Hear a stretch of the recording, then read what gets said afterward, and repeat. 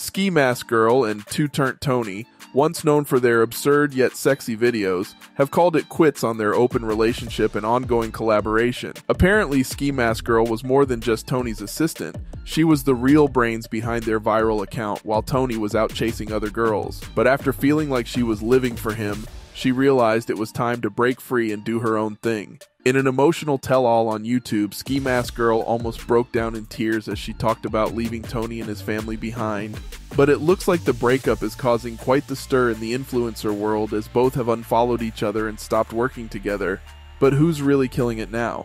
Well, it seems like Ski Mask Girl is still blowing up while Tony's numbers have been falling off. Looks like we know who the real star of the duo was all along.